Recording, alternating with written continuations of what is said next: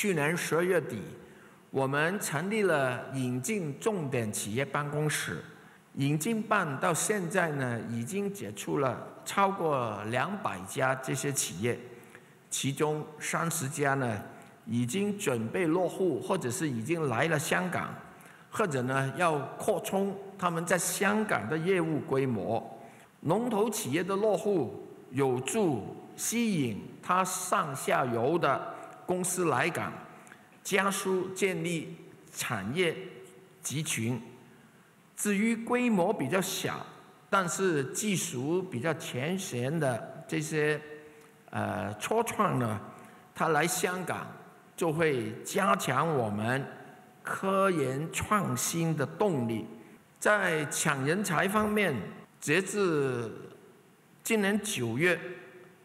这些输入人才计划一共收到十六万宗申请，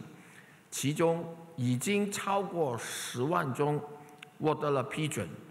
当中高才通计划呢，一共收到超过五万宗申请，我们呢也批了超过三万九千宗，到现在为止呢，刚才说的人才已经有六万名来到香港。